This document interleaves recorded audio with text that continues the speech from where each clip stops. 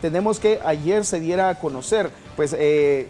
antier se dio a conocer eh, la marcha atrás del estado de prevención que se tenía en nuestro país, esto derivado a las eh, innumerables críticas pues, que generó pues, la suspensión de varios derechos constitucionales de los guatemaltecos y a raíz de eso el mismo presidente en fusiones, Jafet Cabrera, en una conferencia de prensa allá en la Corred, usted recordará que esta conferencia fue transmitida por TN23, se dieron a conocer que se daba marcha atrás con ese decreto gubernativo que dio vida a ese estado de prevención en nuestro país, pero ayer en horas de la tarde de noche, el Ejecutivo también por parte del presidente en funciones, Jafet Cabrera, da a conocer en conferencia de prensa que se informa que eh, pues se ha decretado eh, a raíz de la gran cantidad de lluvia que ha caído en las, últimas horas en nuestro país, el estado de calamidad para contrarrestar los posibles desastres que provocan estos eh, fenómenos de la naturaleza. El gobierno de Guatemala ha anunciado la activación de un estado de calamidad para mitigar los efectos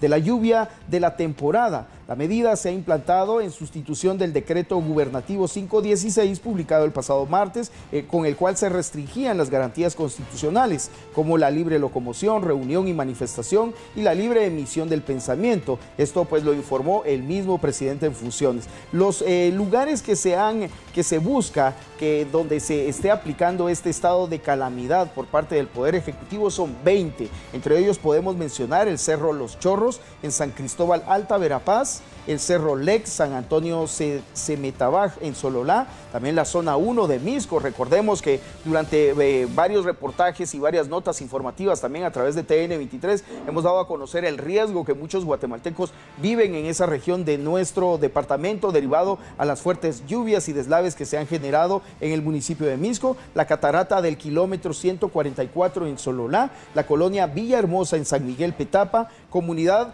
de La Cuchilla, San José Las Flores en Santa Rosa, así como el Cambray en Santa Catarina Pinula, residenciales Jardines del Norte en zona 18, condominio de San Marino, San Cristóbal en Misco, así como podríamos mencionar una gran cantidad de lugares que pues, se han visto afectados por la gran cantidad de, lluvia y esto eh, también podemos tomar en cuenta que la misma Conred ha dado a conocer que existen más de 8.200 puntos de alto riesgo a nivel nacional. La, el Ejecutivo en este acuerdo que ahora pues da a conocer en este decreto gubernativo, mejor dicho, pues ha dado a conocer 20 lugares en los cuales se ha dado prioridad para poder eh, declarar este estado de calamidad. Eh, pues esta es la información que se genera por parte del Poder Ejecutivo en nuestro país, ya que en estos momentos está presidido por el eh, vicemandatario en su momento, Jafet Cabrera, que en la actualidad es el presidente en funciones derivado a que el presidente de Guatemala, Jimmy Morales, se encuentra participando en diversas actividades allá en Nueva York,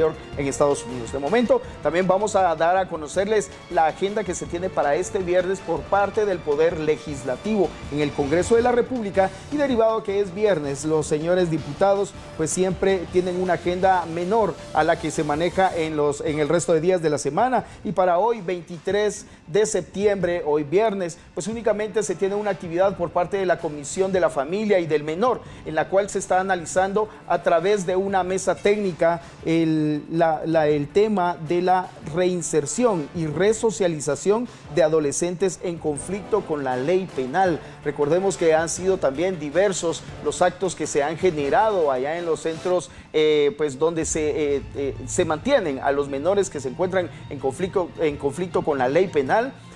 para buscar programas de una readecuada reinserción al Estado de Guatemala, derivado a que muchos de estos menores, por falta de recursos, no pueden acudir a un centro educativo y son vulnerables a ser reinsertados en las estructuras del crimen organizado. Esto derivado a que nuestra legislación pues no contempla penas como las de un adulto y es por ello que se, pues, que se está buscando este tipo de programas para poderlos reinsertar de una forma adecuada en nuestro país. Esta es la información que se genera desde el Poder Ejecutivo así como la información que se mantiene en el Poder Legislativo en el Congreso de la República para que usted, amigo televidente, esté bien informado a esta hora de la mañana. Con esta información, con estos detalles, vamos a volver con Claudia Guerra para que ella le lleve más información acá en TN23. Muy buenos días.